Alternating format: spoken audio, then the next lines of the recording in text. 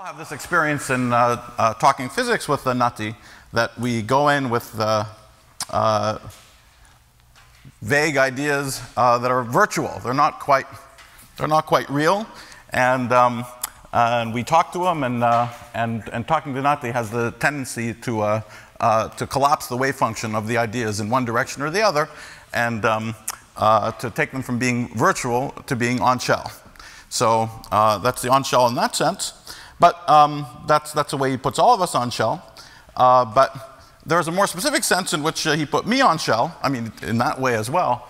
But um, uh, the story goes back to uh, 2007 um, when I was uh, giving a, a, talk here in the context of something that we're calling back then the LHC Olympics. Um, this was the idea that, that we're going to have so much insane new physics at the LHC that it was going to be very difficult to disentangle it all. And so we had to come up with all sorts of new and interesting methods to do it.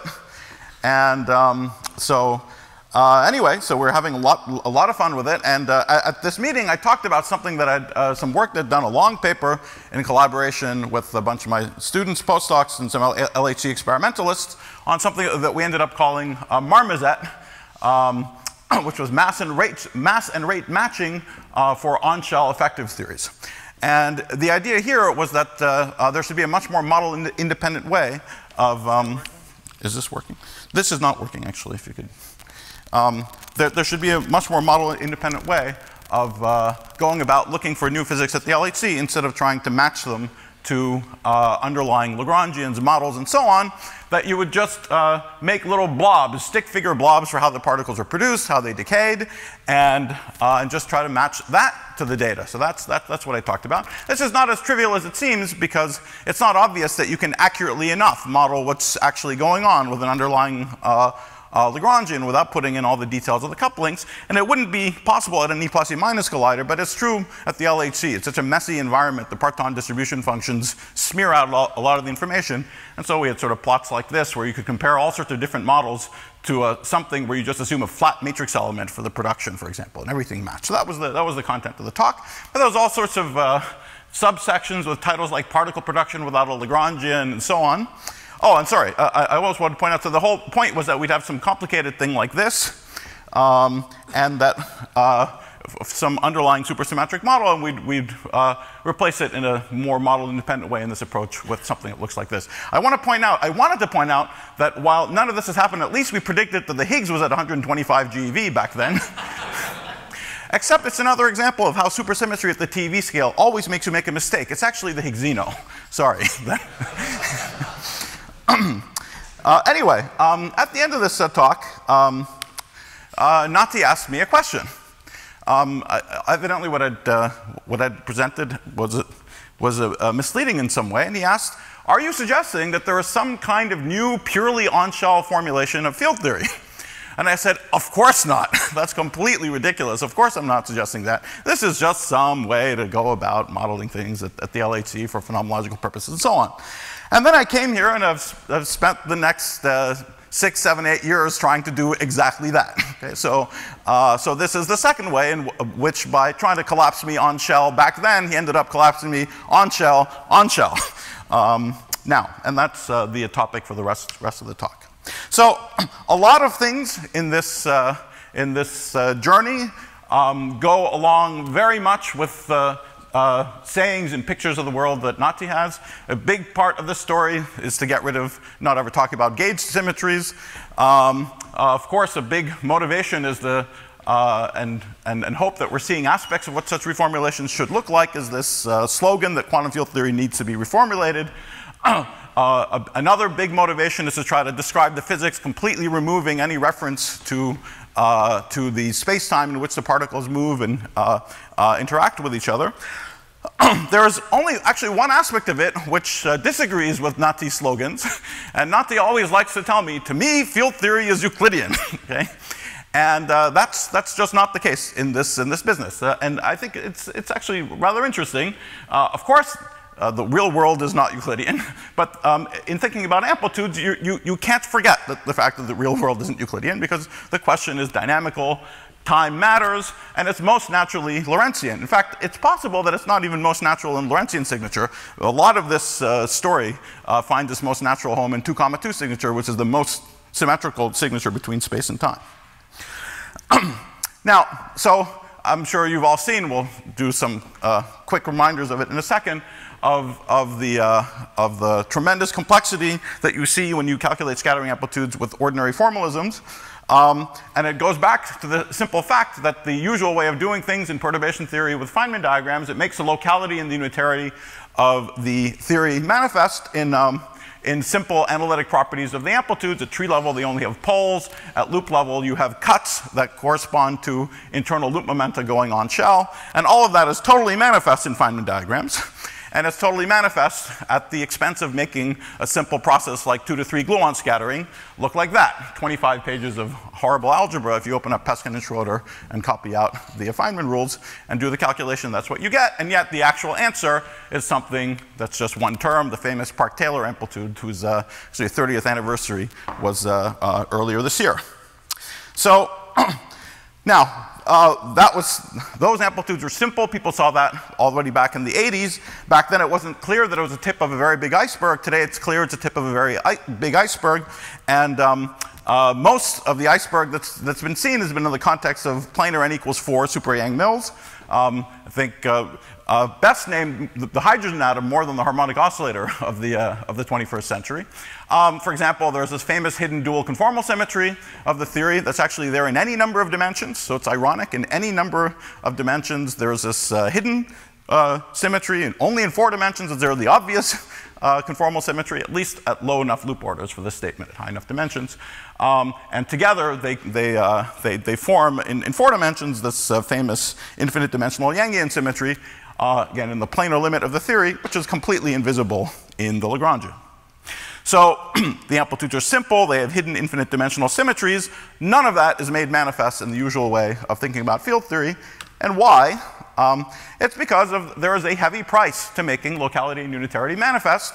Even for simple theories, scalar theories, anything, uh, there is lots of redundancy. There's the redundancy of field redefinitions, and then when we have massless particles with spin, we have gauge redundancies um, in order to help us describe in a local way the dynamics of two helicities for massless uh, spin 1 particles, let's say, um, in terms of fields, things like polarization vectors and so on. We need to uh, we, need, we need to say that there's a whole equivalence class of polarization vectors that differ by translations uh, parallel to the momentum in order to knock down the degrees of freedom from the four of the polarization vectors to the two that actually describe the massless particles. Okay, so all of that uh, gives a motivation to try to uh, describe um, scattering amplitudes in, in a different way where we don't use any of the Lagrangian. We try to somehow, in the beginning anyway, uh, the first thing we can try to do is to determine the answer more directly um, going back to the basic principles of, um, of uh, uh, locality and unitarity.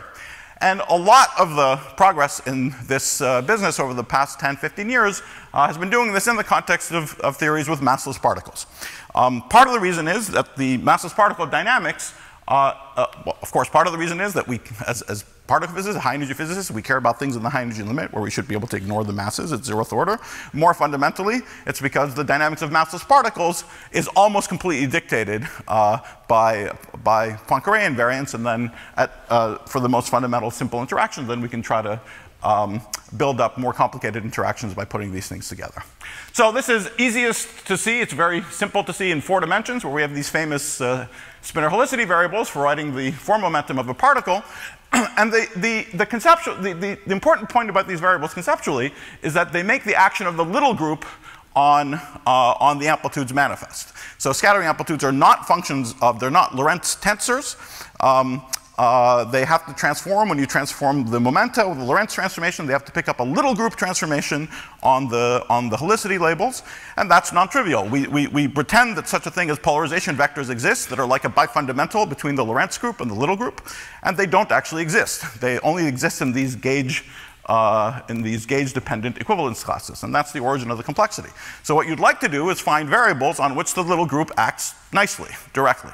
And that's what these spinor helicity variables are. See, the whole point is that here's a null momentum, and here's something you can do to rephase or rescale lambda and lambda tilde by opposite amounts that leaves the p invariant, and that's precisely the action of the little group.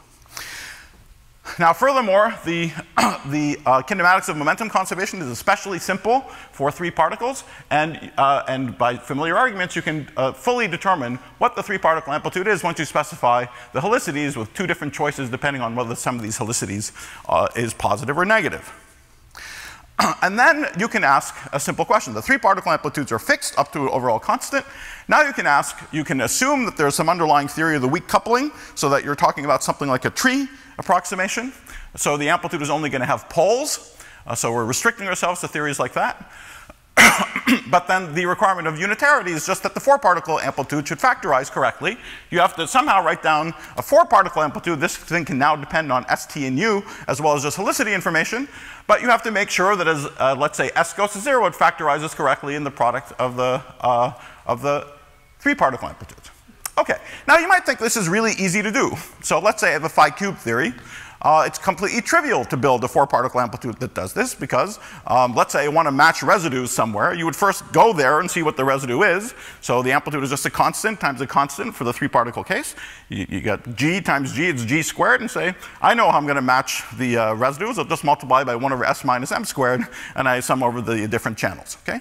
So that's a, that seems to be trivial. Once you know the three particle amplitudes, you figure out the residues, you dress with the 1 over uh, you dress with the pole factors that you had stripped off, and you're done. but it's non-trivial when, we have, uh, when we have massless particles with spin for the following very simple reason. If you go compute the, uh, the residue in the S channel, let's say for this uh, uh, helicity configuration, I'm assuming these are all particles of a single spin S, a massless particle with a single spin S, you discover that you can compute the residue, but it's not local.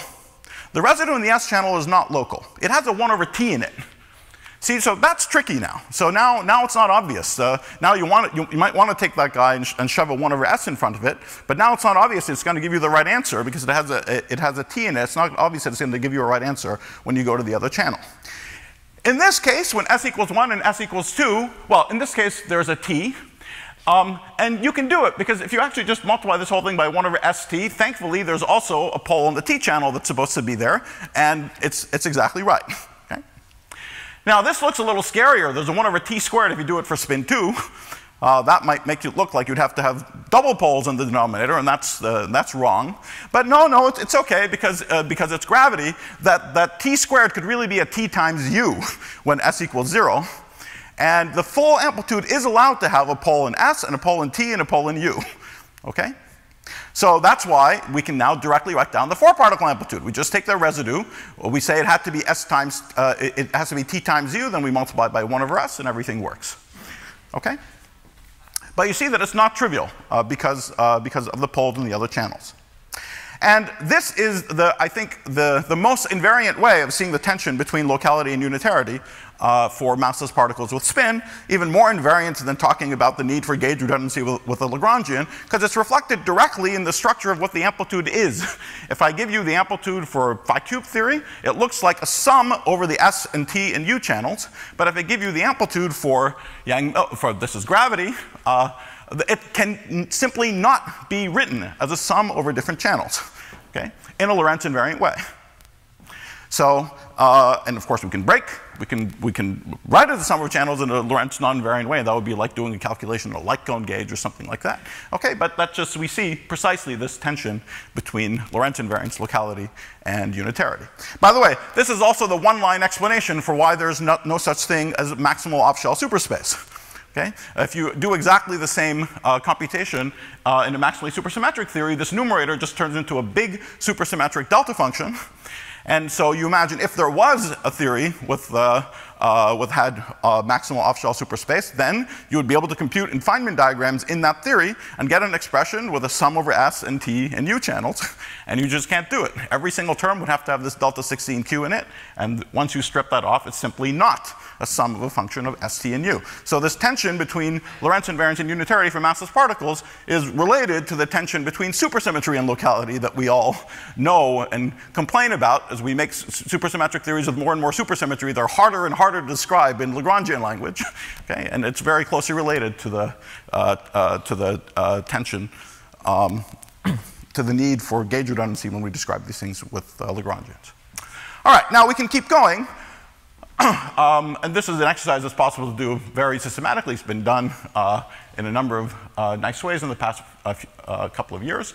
Um, uh, the presence of massless higher spin particles uh, from these considerations can be just ruled out by the presence of gravity or Yang-Mills. I'll just give an example of charged massless particles, charged under a photon, of spin s. You do the same exercise, you compute the residue in the S channel, and now you find that it has a 1 over u to the 2s minus 1 in front of it.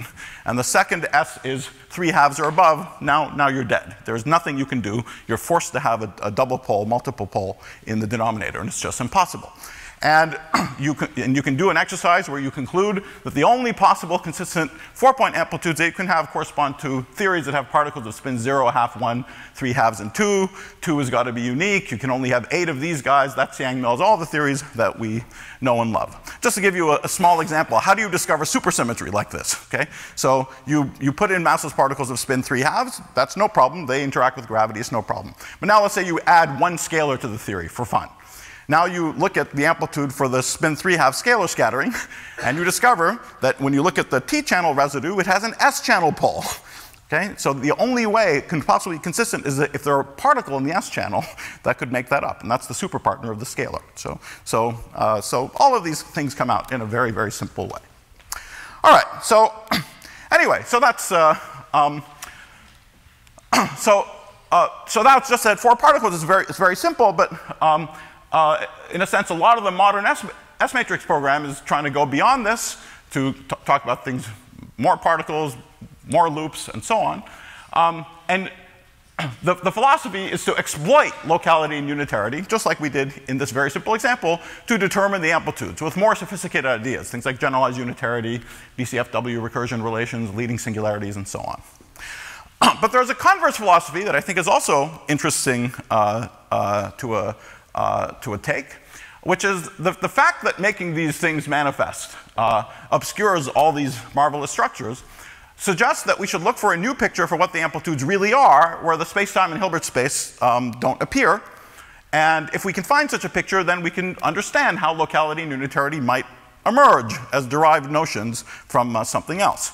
And this is a very concrete setup where you know exactly what these things mean. You have functions you have to match. They have to have the right, uh, they have to have the right singularity properties and so on. And uh, so uh, you can either use these principles to determine them, or you could look for some other structure that generates them in a different way. now, I want to just say a, a few things about uh, this last point, that, uh, that we might look for something where locality and unitarity sort of emerge from uh, other principles, I just want to say a, a, few general things about it, which is a very, very speculative uh, idea. But I, I first uh, got excited about this idea um, by, by a talk that Nati gave at the Solvay meeting back in 2005. There he is. Um, and uh, of course, everyone talks about uh, emergent space, quantum emergent space from quantum mechanics, and Nati made the point forcefully that, of course, we have to care about emergent space-time. And if time is emergent, it's not obvious that quantum mechanics has got to be just left alone, that it's just going to commute and go along with the ride. Um, this is, uh, uh, uh, I'm sure other people have said it before, but it was said very clearly and very forcefully. It made a very big impression on me back then. And just to uh, sort of contrast what uh, what, what, I'm, uh, what, I'm, what, what, what the, the hope or the idea is here is that uh, instead of imagining that there's, uh, there's quantum mechanics and give us emergent space, and of course we believe this happens and, and we'd like to understand more and better how it happens, here it's something uh, much vaguer at the moment. Uh, but the idea that there's something else, and, and out of it comes both quantum mechanics and not just space, but space time. Uh, and that they have to emerge together, somehow joined uh, inexorably. I just want to give a, a couple of, uh, these, are, these are some general remarks, but I want to just give a, a couple of, of, broad motivations for this, because I think there are some big reasons to expect it and some little uh, uh, circumstantial hints to expect it. One, of course, is we all know that uh, we eventually run out of precise quantum observables uh, in, in various uh, questions that we like to think about in following observers into black holes, accelerating cosmologies, and so on. And so we look for quantum mechanical observables, and we eventually run out of them. And so uh, we don't know what we're supposed to be talking about. So there, there's at least uh, a place where it's, it's conceivable there might be some kind of extension of quantum mechanics needed. There's something else which uh, uh, certainly bugs me, I'm sure it bugs many, many people, is that there's this huge tension between the two revolutions uh, of the 1990s. On the one hand, um, we got this uh, idea, especially in the flat space limit, that there's this one unique theory and they're all dual to each other, and we can have uh, uh, all these different, uh, all these different possible backgrounds as solutions of one theory. That's one picture. Then we have the ADS-CFT picture, where more or less any old quantum system is dual to a, uh, an ADS theory in the bulk. And these two things just don't feel the same as each other, right? Um, so it, it, doesn't seem, it doesn't seem crazy that there might be some more bulk flavored picture of the physics. And since there's no local observables, quantum local observables, maybe that more bulk flavored picture of the physics will be more relaxed about quantum mechanics. It's a absolutely wild speculation, but, um, but it at least motivates you to, to look for this, motivates you to, to look for things where it's not just the, the, the, the, the, the Hilbert space, which is dominant, but that uh, uh, somehow both sets of concepts should come out together. Now, I think there's other more elementary circumstantial clues. one is that um, our, our best pictures of field theory don't start in 3 plus 1 dimensions. For example, most, most standardly, uh, we start in Euclidean space, where the objects that we talk about don't have the interpretation of amplitudes, nor is there any time. And then we do an analytic continuation, and the second time emerges, they become probabilistic. They have, the, they have a quantum interpretation at the same moment. And there are some uh, analogous things that's being seen in the context of amplitudes, where you start uh, uh, from uh, 2 plus 2 signature. and there's the other sort of basic fact that, uh, that, that uh, local space-time and quantum mechanics somehow buttress each other. Um, if it wasn't for the, if it wasn't for, if, if, if it if there was no quantum mechanics, we could have imagined that Lorentz invariance was an approximate long distance symmetry, just like uh, waves on a rope. Um, but it's quantum fluctuation that makes it very, very hard to get Lorentz invariance to come out as uh, approximate symmetry. If it wasn't for quantum, if it wasn't for uh, Lorentz invariance and causality, you could imagine making stupid local hidden variable models for quantum mechanics. It's uh, relativity that makes quantum mechanics more, uh, more, more rigid. All right, and the final thing most closely tied to the, uh, uh, the subject of the talk is that um, the locality and unitarity of scattering amplitudes are reflected in sort of one and the same property of these objects. Just the singularities of the amplitudes naturally tie both locality and unitarity together. Okay, so now um, I'm going to, uh, here are the two things that I want to talk about, depending on how I'm doing for time. Um, uh, we may not uh, cover them equally. but the two topics I want to talk about are uh, first, uh, the final answer to Nati's question. So, um, so he asked me back then if we were talking about, uh, uh, with these on-shell effective theories for collider physics, if, if, we wanted to eliminate virtual particles there. And I said, of course not. and now I want to uh, tell you exactly how, how we can do that, not just for, you know, theories with massless particles, but just normal standard model processes. What are the uh, S-matrix rules, in fact, in general, for any masses and any spins? And this is work in progress with uh, Yutin Huang and uh, uh, Huang. and uh, it's, it's, it's motivated by, by, by uh, uh, trying to better understand um, uh, four particle scattering amplitudes for general string states in string theory, but I won't talk about that, that part. I'll just tell you about how to go about thinking about the S matrix for general mass and spin.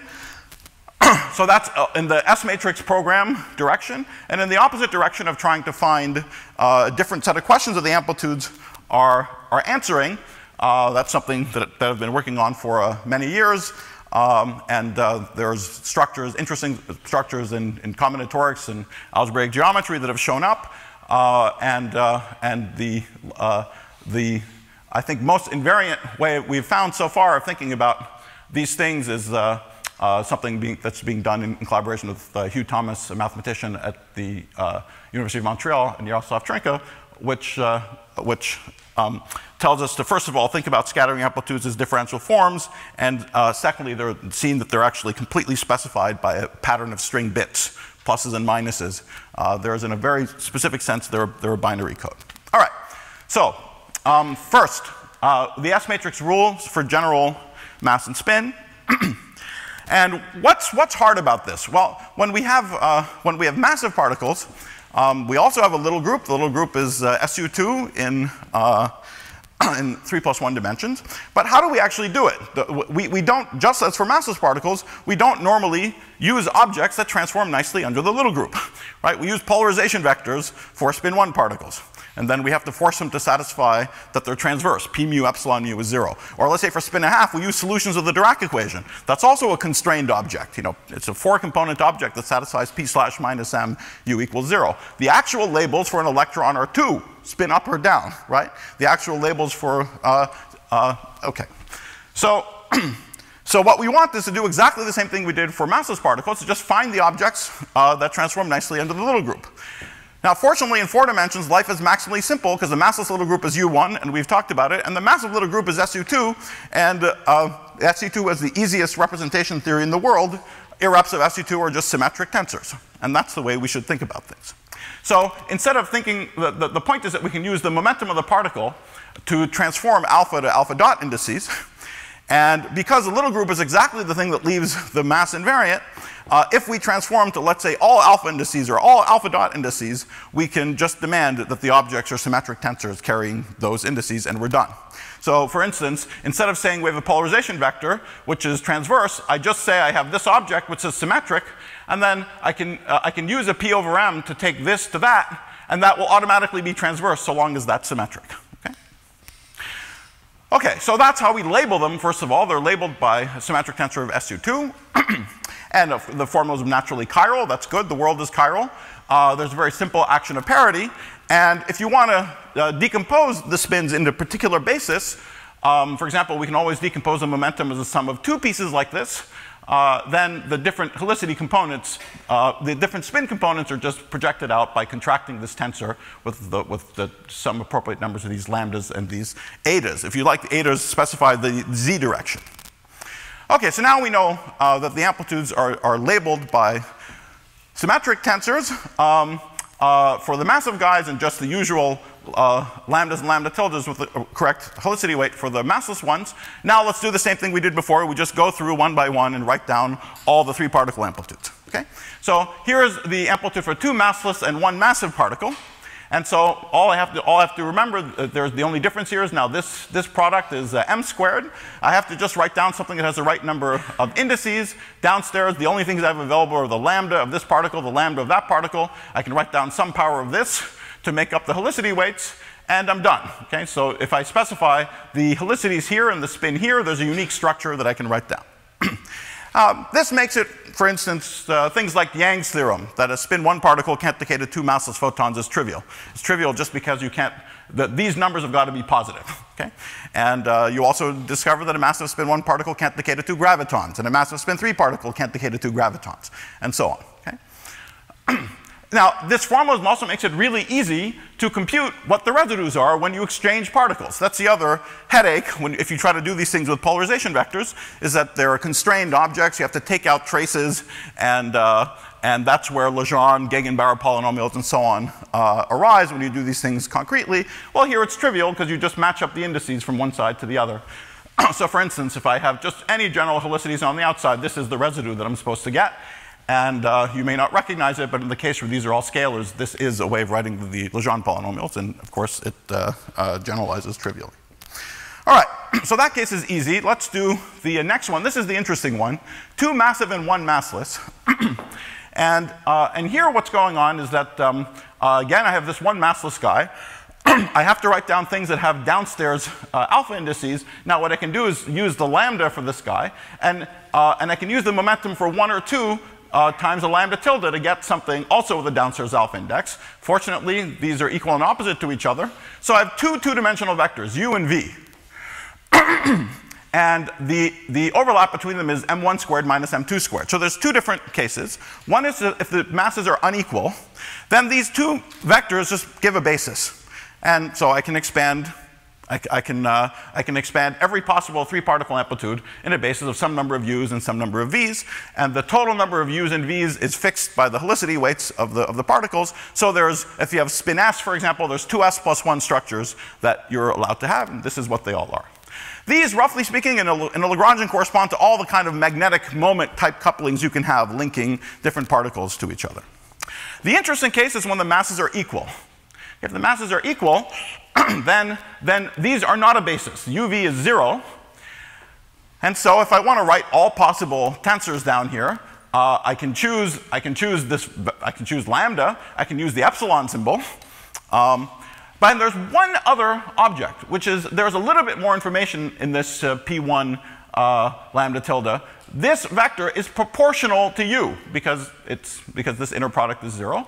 Um, they're in the same direction. So the constant of proportionality is another variable that things can uh, depend on, that the amplitude can depend on, and this is uh, carries helicity weight. And once again, if I have uh, equal mass particles, um, uh, whatever they are, again, there's two s plus 1 structures. Again, there's just a bunch of epsilons, some number of these lambdas, and then a power of x to make the helicity weights work out. What's important about this is that this object x is not local. There's no, if you try to compute x in terms of the momenta, you will find that, that, that there's, uh, there's dependence on reference spinors and it's not local. There's, there's poles downstairs. Okay. Just to give a simple example, let's say we want to see what uh, minimal coupling looks like okay, in this language. We, we, are not running on a Lagrangian, so what does minimal coupling look like? Well, all we do is we have to ask what combination of these couplings have the property that when I go to the mass high energy limit, the massless limit, I recover the massless three particle amplitudes with the lowest dimension uh, couplings. And if I do that, it's, it's, something very, very simple. For example, for, for plus helicity, it's just x times a bunch of epsilons. Uh, if it's, uh, if it's uh, spin 1, I multiply by that factor. If it's spin, spin 2, and anyway, it, the parity conjugate of that uh, for the other coupling. All right. Finally, 3 massive is trivial, and I won't talk about it. Okay? Um, so then now we have the same challenge as before. Uh, given a spectrum of masses and spins and couplings, we want to be able to find a four particle amplitude that factorizes correctly. Okay? And again, as we said before, most naively, you would just take the three particle amplitude, you'd compute the residue multiplied by the pole and sum over the different channels. so, and most of the time that works. And just, just to give you an example that might seem naively scary, but is completely trivial, let's say you're interested, there's, a, there's the top quark and a photon, and there's some spin 3 halves excitation of the top quark, and you want the amplitude for photon top to graviton back top through this crappy guy, right? And you know, you might think, oh my God, you have to open up the Rarita Schwinger paper and it's going to be a nightmare. Um, but we just write down the answer, okay? Because this works, there's nothing wrong. These, uh, uh, the, the product of these uh, three-point things gives you something totally local. You multiply by 1 over s minus m squared. There's two possible couplings you can have on one end, and that's the most general thing that you can have, plus possible contact terms. So the only challenge, actually, is when we have the situation where there's a massless particle and two particles of equal mass, which of course is always there because we have uh, electrons flying around or normal particles uh, flying around, and that's because of this x guy. The x is not local, and so just as we saw for the purely massless case, when we try to do this thing where we jam the residue together and see what it looks like, we'll find that it's not local. It has a pole in another channel, and it's not obvious that you can make something work. Okay, now, but you can make it work, it turns out. And, and so we have an explicit expression for all four-point tree amplitudes. You just give me the three-point coupling, you just write down the answer for all uh, uh, four-point uh, tree amplitudes for any masses and spins uh, without ever mentioning a Lagrangian. So that's the answer to Nati's question. So we can, uh, we can uh, talk, at least for these production processes, we don't need to go back to a Lagrangian. We just write down what the answer is ahead of time, the most general answer. Um, and of course, this, we can now start the machinery for doing this for all n. For example, uh, we haven't done it, but I'm sure that uh, you can add any number of massless particles that you want, and all the techniques using the recursion relations and so on will work. Things will start getting interesting if you try to increase the number of massive particles, and it'll be interesting to see what it actually looks like. but let me just give you some examples of what things look like when you uh, compute in this formalism. Let's do something simple like Compton scattering. Two scalars scattering against uh, two photons.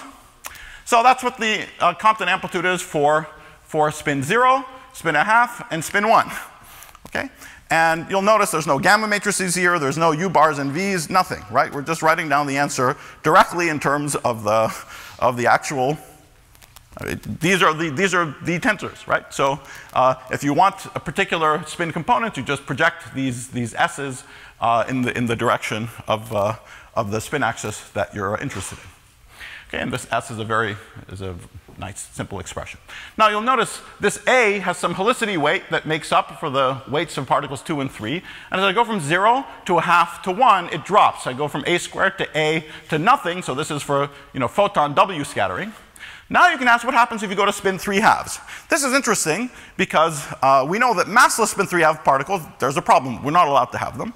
Obviously, we have to be able to have massive spin 3 half particles, bound states, any kind of crap out there. There's all kinds of massive higher spin particles. And this formalism is giving you the answer for the scattering amplitude for off bound states, off anything you want, in principle, at least uh, uh, uh, parametrizing it correctly. But you should expect that something changes. And uh, if you just turn the crank, look at our general expression, indeed it changes. So the structure starts looking different, starting at spin 3 halves. Um, I don't expect you to look at it in any detail, but there's a very simple general conclusion that massive higher spin particles can't be point-like.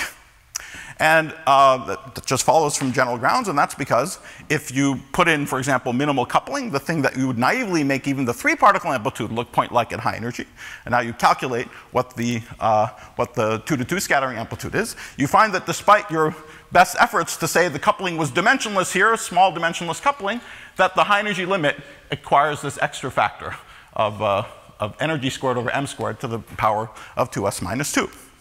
So it blows up for energies much larger than the mass. Okay? And of course, that's what obstructs taking the m goes to zero limit.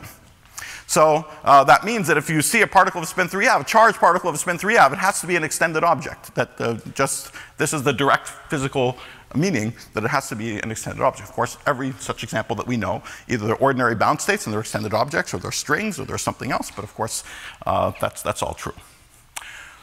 All right, so that's all I wanted to say about this, and I think. Um, uh, I have five minutes, so I'll, so, um, I'll have to be even more impressionistic about this than I want it to be. Um, but let me just say a little bit about it. So, uh, so this is now in the opposite extreme. So we're not uh, exploiting these, uh, these principles, but we're trying to see the amplitude as the answer to a different mathematical question. Um, and then try to see whether we can understand where, where um, where the singularity properties come from that allow it to get a local and unitary interpretation. This is something that uh, I've been working on for a long time was the, the, the, picture that somehow the amplitudes, if you specify the external data, these z's are momentum twistor variables that are the best ways of talking about uh, uh, the uh, momenta for, uh, for, for, for external states in, in n equals 4 super Yang-Mills. Um, that this is somehow the volume of, of, of, a region, a region that lives not in space time, not in Hilbert space, some other some, some other uh, uh, projective space. Um, and so there was a concrete implementation of this idea where indeed, if you specify the external data, roughly the momenta and the helicities of the particles, um, there's, a, there's, a, there's a notion of volume that you can associate to some shape uh, in this space, and that volume calculates the scattering amplitude. So uh, many of you have, may have seen um, uh, aspects of this uh, story before. I won't go through this in any detail other than to just roughly say that, that this, this is a, it's a very, it's a simple shape, it's a simple object, and a simple object that's roughly speaking the generalization of the notion of a simplex. So you start with uh, something like the inside of a triangle, and you generalize the notion of the inside of a triangle in a number of ways. You generalize the inside of a triangle from projective space into the Grassmannian, uh, you generalize a triangle from a triangle to a polygon, you then generalize that into the Grassmannian in the same way as you generalize triangles, and that leads you into the world of these objects. So, so um, and, uh, and the, the boundaries of this space uh, have the properties that as you go there, the geometry really splits in exactly the same way amplitudes do. And the infinite dimensional symmetry of n equals 4 super Yang-Mills is very, is very obvious. There's just the diffeomorphisms that move the points on the inside the amplitude around without, uh, uh, uh, without changing what the boundaries look like. But the only reason I'm saying all of this is, that, is to remind you this has something to do with the notion of the inside. You're trying to take the notion of the inside of a space and generalize it. And um, that's something that, uh, that I, I, think we now have a deeper understanding of. Um, so one way of asking uh, one way of asking the question is, can we give a more invariant characterization of what it means to be inside something? So let me just go back for a moment. You see, if you're, if you're talking about being on the inside of a polygon, one way of specifying it is to say that points are on the inside if they're a positive weighted sum of all the things on the vertices. That's one way of talking about it. Um, that's, uh, that's, so you say that this point is a positive combination of the external data. But this is a very redundant way of talking about things, right? The, if I give you a point, it's hard to check whether it satisfies this uh, property or not.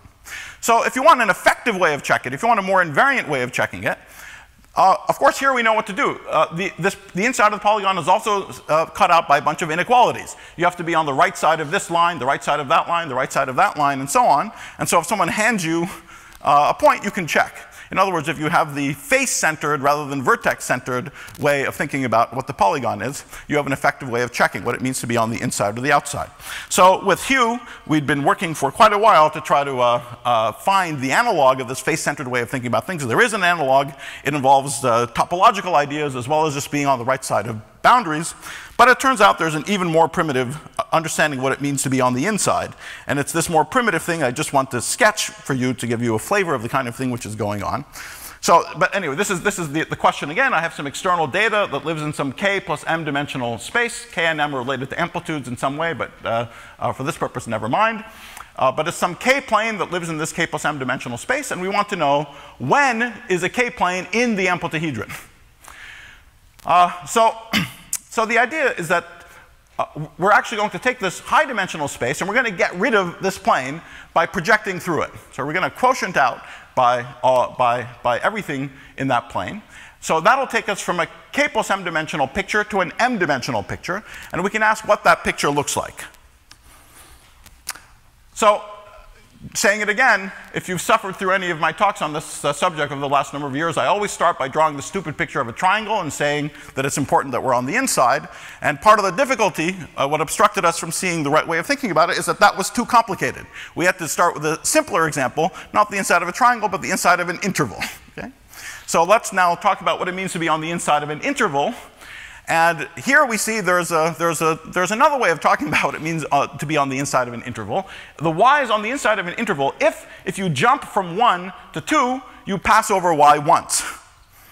Okay? You see, that generalizes to if a point is on the inside of a convex polygon. A point is on the inside of the convex polygon if, if you project through now one of the vertices in y, the resulting picture, which would look like 2, 3, 4, you jump over y once. And you see, no matter who you project through, you always jump over y precisely once. Okay? So we can generalize that notion. We can say, imagine we have these k planes in k plus m dimensions. I'm going to project through y to get an m dimensional picture. Let's do the simplest case, m equals 1, the very simplest amplituhedron. And what is a picture supposed to look like? Well, the only thing that's left is k, and the idea is that you're in the m equals 1 amplituhedron if you jump over y k times. Okay? So in other words, if you look at this series of, uh, of uh, overlaps between y, uh, everything sort of tensored together with uh, uh, contracted with uh, epsilons, but this series of numbers have to has, has to have the sign pattern plus, plus, minus, minus, plus, plus, plus, with precisely k sign flips.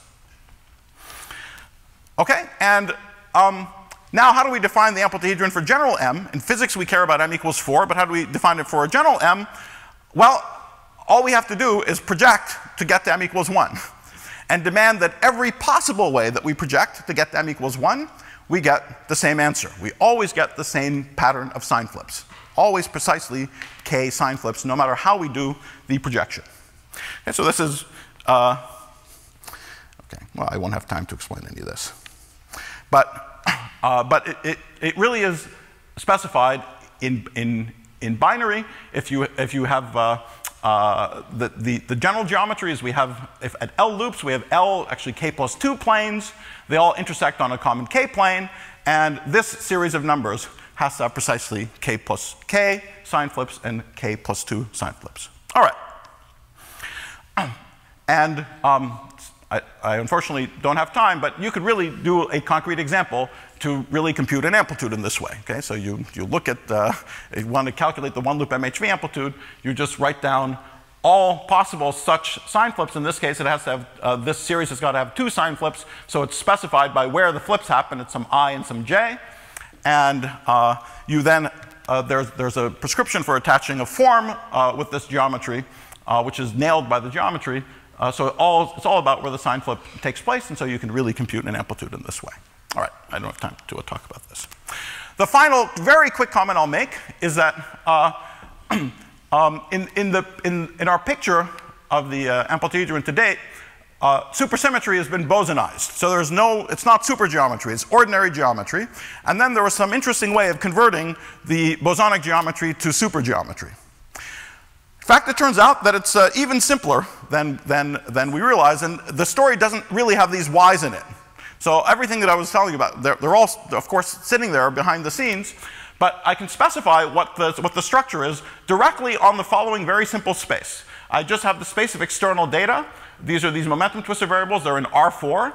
Loops are two planes in this space. These are roughly uh, twistors and lines in twistor space that correspond to points in space-time that are the loop integration variables.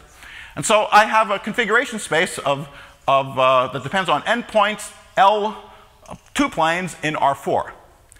On this configuration space, there turned out to be a canonical form of degree 4 times k plus l. This form is completely determined by having logarithmic singularities on the boundaries of the region specified by this binary code. What I mean is as you move these z's and points around, you have to have the property that as you do these projections, you always have the same patterns of sign flips, no matter how you do it, no matter how you do the projection. And that determines what the form looks like. So this is, this is just a differential form. You've never heard of supersymmetry. But now there's a very natural Grassmann object in town, dz. If you just take dz and you interpret it as the eta that, it, that uh, appears in superamplitudes, this is the superamplitude. Okay? So this is a way of going from bosonic Grassmannian geometry to uh, supersymmetry, Yangians, and so on. But it's all bosonic. All right, so let me just end at least in this example, for planar n equals 4 super Yang-Mills, we do have a concrete example where we see locality and unitarity as derived notions, very much joined at the hip, uh, ultimately arising from these algebraic geometric combinatorial origins, really counting pluses and minuses. Um, if I had another 20 minutes, I could actually prove locality and unitarity by looking at the pattern of these sign flips and seeing how they imply the, the uh, factorizations that, that, that you need. So there's a couple of, uh, I think, large open questions um, uh, in this story. Uh, we, have understood a lot about the singularity geometry of uh, scattering forms, and we're also seeing uh, the scattering forms as combinatorial geometry. We understand much little directly about the final amplitudes when you finish doing the loop integrations. Um, uh, there's this, uh, the singularity geometry here should correspond to some intricate branch cut geometry. We don't understand that. Uh, and, uh, and the analog of the question here, we're seeing this, these scattering forms are really determined by some combinatorial geometry. We have no idea. We have functions that are polylogarithms, elliptic functions, more complicated, int intricate functions here. What, mathematical, what mathematical questions are the full n equals 4 amplitudes answering? Uh, I'll just mention this very briefly because there's an aspect uh, that we're seeing everywhere here. Uh, there's a kind of cluster structure uh, that's being seen all over the place, not only the amplitudes business and things that have nothing to do with amplitudes, that sort of most remarkably to me, uh, something that showed up in drawing these pictures of on-shell processes uh, were equivalence relations on these diagrams that are sort of literally uh, Seiberg duality for uh, quiver gauge theories if you draw the duals of these diagrams and thinking of them as, uh, as giving you n equals 1 quiver gauge theories. And um, I think the, the deepest question of all is really this one. I won't even talk about that which is that there is an aspect of the physics here, which I haven't talked about at all. We don't see 9 equals 4 super Yang-Mills, which is running, the RG. And I think that um, uh, uh, until, at least in my mind, until we get a good on-shell picture of how we're supposed to think about the RG, uh, I, I, won't be, be, satisfied. In a sense, um, without the RG, we're running with the wind to our back at 200 miles an hour in this business because amplitudes aren't a very local question to begin with. So the fact that we managed to come up with a picture for what they are that doesn't have the interior of the space-time in it is maybe not so surprising. It's the RG, which uh, is Euclidean, uh, is uh, off-shell, and the best way of thinking about it uses those notions as Wilson taught us.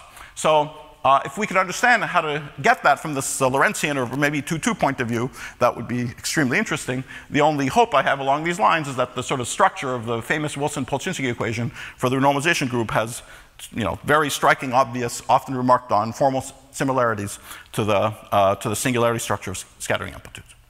All right, that's it. Happy birthday, Nati.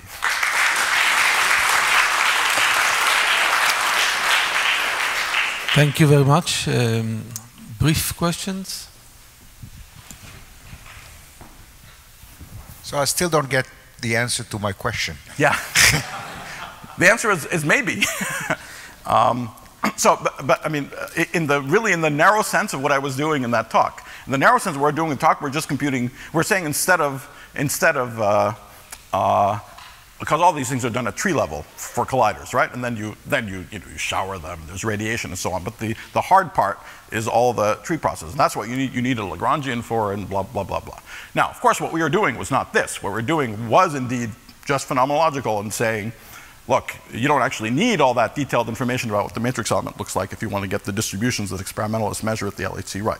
But your question was, was the correct deeper question, can you actually do it without ever talking about the off-shell virtual particles? And the answer for those processes, absolutely. You can write all of them down. And, and what about some strongly very interacting CFT, which of course not. No, no, no. Th th but that's that's that's precisely not what was being talked about in that in that meeting. We are talking about you know things like supersymmetry, things like uh, uh, simple things where you do use a Lagrangian anyway, right?